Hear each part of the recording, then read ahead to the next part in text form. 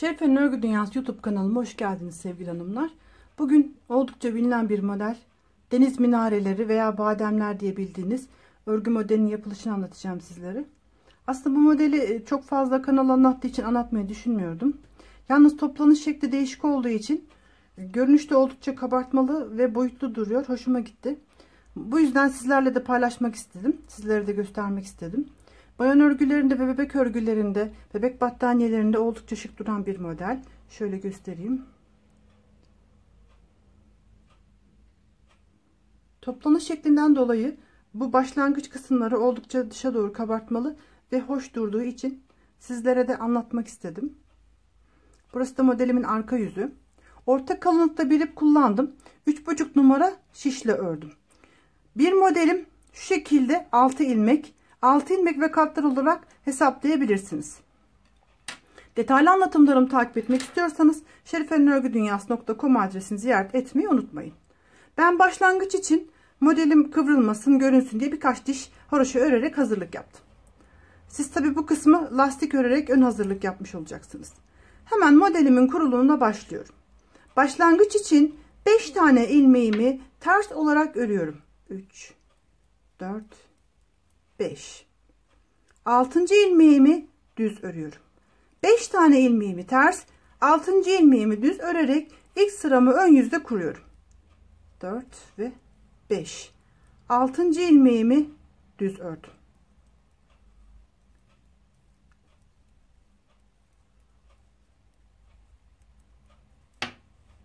bu şekilde 5 tane düz bir ta pardon 5 tane ters bir tane düz 5 tane ters bir tane düz şeklinde ön yüzden modelimizi kuruyoruz. Arka yüzde ise ilmeklerimizi aynen örüyoruz. Arka yüzde de 5 tane ilmeğimizi düz örerken arada bir tane ilmeğimizi de ters olarak örüyoruz. Facebook'ta takip etmek istiyorsanız Şerife'nin Örgü Dünyası sayfama girerek beğen butonuna basmayı unutmayın. Takipçisi 100 binin üzerinde olan sayfa bana aittir. Diğer sayfalar sadece isim benzerliği. Tekrar örgümün ön yüzündeyim ve üçüncü sırasındayım. Aynı şekilde ilmeklerimi 5 tane ters, bir tane düz olarak ön yüzde örmeye devam ediyorum.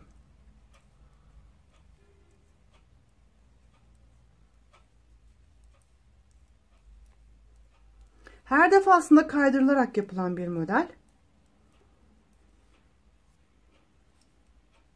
Örgümün arka yüzünde ve dördüncü sırasındayım.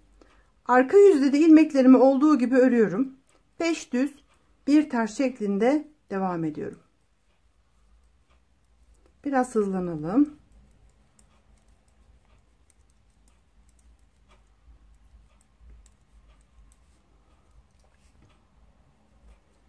Örgümün 5. sırasında ve ön taraftayım. Aynı şekilde ilmeklerimi örmeye devam ediyorum.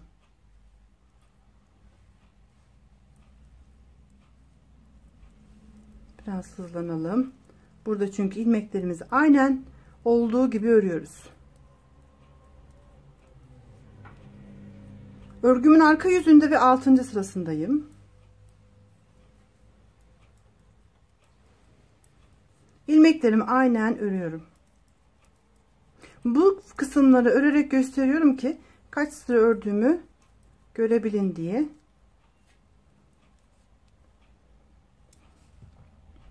Örgümün ön yüzündeyim ve şu anda örgümün 7. sırasındayım.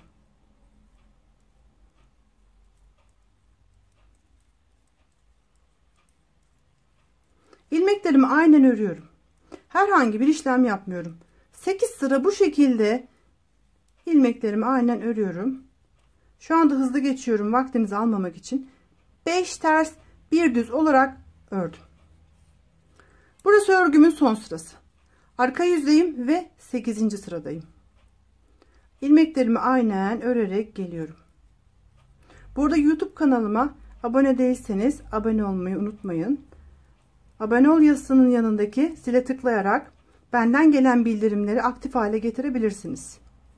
Beğendiğiniz videolarımı paylaşmayı ve beğen butonuna basmayı unutmayın. Şimdi bu şekilde 8 sıramı ördüm. Şimdi örgümün ön yüzündeyim ve örgümün 9. sırasındayım. Burada modelimi tamamlıyorum.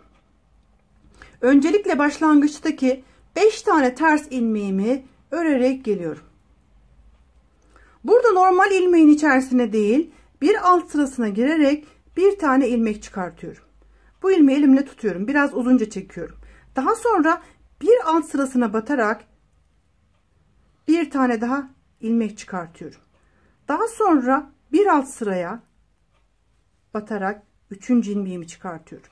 Bu şekilde her defasında bir alt sıraya batarak yeni bir ilmek çıkartıyoruz. 4 oldu. Bir alt sıraya batıyorum. 5 oldu. Bir alt sıraya batıyorum. Ve 6 tane ilmek çıkartmış oldum. Bakın burada aşağı kısımda 2 sıra boşluk kaldı. Bu kısmı doldurmuyoruz. 6 tane ilmek çıkarttık. 2, 4, 6. Bu 6 ilmeğimi diğer şime geçiyorum.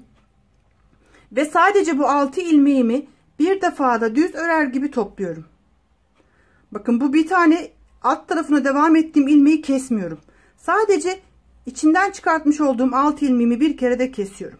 Sonra ilmeklerimi şişime takıyorum kestiğim ilmeğimi. Sonraki iki ilmeğimi birlikte keserek ilmek artışını yok etmiş oluyorum.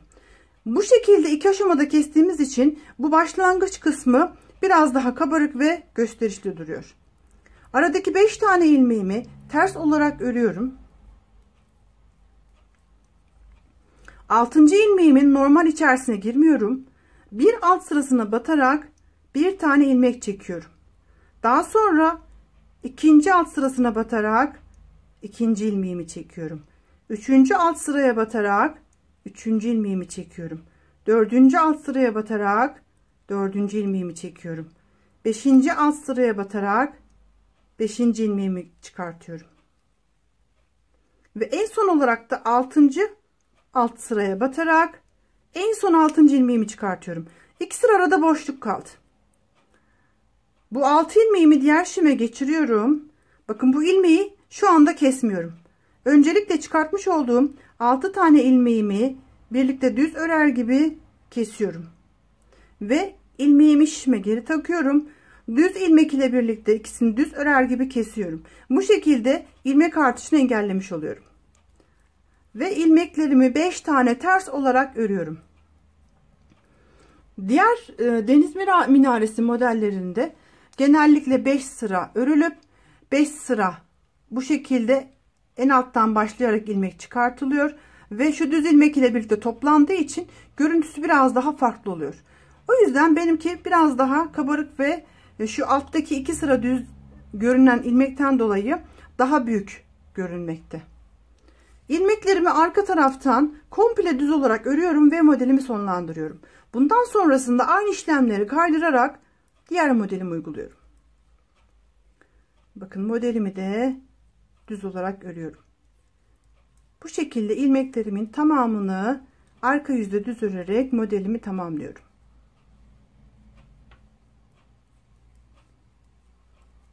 Bebek örgülerinde ve bayan yeleklerinde gerçekten çok hoş duran bir model. Yapması da gayet zevkli. Şimdi bu defa 5 tane olan ters ilmeğimizin tam ortasında kalan ilmeğimizi düz olarak örüyoruz. Yeni modelimizi buraya uyguluyoruz. Başlangıçtaki iki tane ilmeğimi ters olarak ördüm. Üçüncü ilmeğimi düze çeviriyorum. Daha sonraki 1, 2, 3, 4 ve 5 tane ilmeğimi ters ördükten sonra tam ortada kalan ilmeğimi düze çeviriyorum. Ve 5 tane daha ilmeğimi ters olarak örüyorum. 3, 4, 5. 6. ilmeğimi bu şekilde düze çeviriyorum. Ve 2 ilmek ters örerek sıramı tamamlıyorum. Aynı şekilde tam 8 sıra örerek modelimin kurulum yerine kadar geliyorum. İlmeklerimi aynen örerek 8 sıramı tamamladım. Şimdi tekrar modelimizi yapıyoruz. Ters olan ilmeklerimi örüyorum. Düz olan ilmeğimin içerisine değil bir alt sırasına batarak bir ilmek çıkartıyorum. Her defasında bir alt sıraya batarak yeni bir ilmek çıkartıyorum. Bu şekilde tam 6 tane ilmek çıkartıyorum. 4 5 ve 6 bakın aşağıda iki tane boşluk kaldı burası modelimizin daha uzun ve büyük görünmesini sağlıyor bu şekilde 6 ilmeğimi düz örer gibi birlikte kestim ilmeğimi şişime geri takıyorum ve ikisini birlikte düz örer gibi kesiyorum aradaki 5 tane ilmeğimi ters örüyorum bu modeli her türlü kalınlıkta iple yapabilirsiniz Angora iplerle de çalışabilirsiniz bayan örgülerinde. Bu şekilde orta kalınlıkta bir bebe ipiyle bebek örgülerinde de çalışabilirsiniz. Her kalınlık ipe uyan bir model.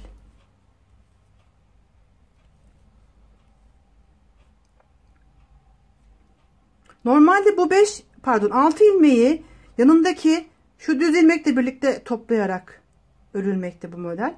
Ama önce topladığınız ilmekleri kesip sonrasında düz ilmek ile birlikte keserseniz örgünün görüntüsü de değişmekte.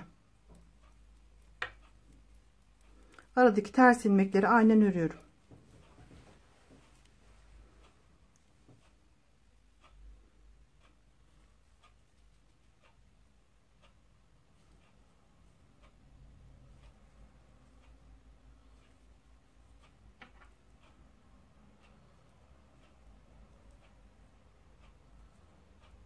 Gördüğünüz gibi modelimiz tamamladık.